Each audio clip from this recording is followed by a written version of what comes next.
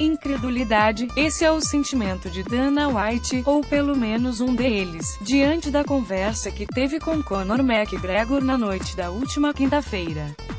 Em entrevista ao canal FS1, o presidente do UFC revelou a conversa que teve com o lutador momentos antes de ele se entregar à polícia de Nova York pelos incidentes causados por seu grupo no Barclays Center logo após o Media Day do UFC 223. Dana White revelou conversa com McGregor antes do lutador se entregar à polícia de Nova York. Foto, Evelyn Rodrigues, eu e Conor conversamos antes de ele se entregar à polícia. E obviamente foi a pior conversa da nossa vida.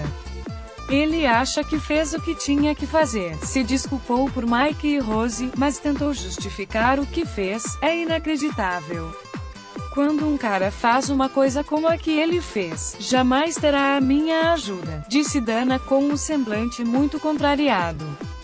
O presidente do UFC já havia deixado clara a sua indignação com a atitude de Conor McGregor na própria quinta-feira, em entrevista logo após o ocorrido.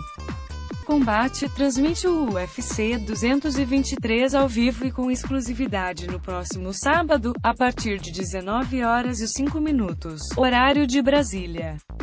O Combate.com acompanha em tempo real, com vídeo ao vivo das duas primeiras lutas do card preliminar.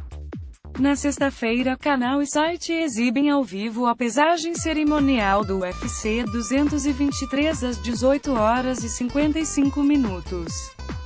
Confira o card atualizado, UFC 2237 de abril de 2018, em Nova York, é o card principal, 23 horas, de Brasília, peso leve, Max Holloway x Khabib Nurmagomedov peso palha, Rosina Majunas x Joana Jedir Zeotic peso pena, Renato Moicano x Calvin Catar peso pena, Zabit Magomed Sheripov x Caio Borneak peso leve, Auia Quinta x Paul Felder card preliminar.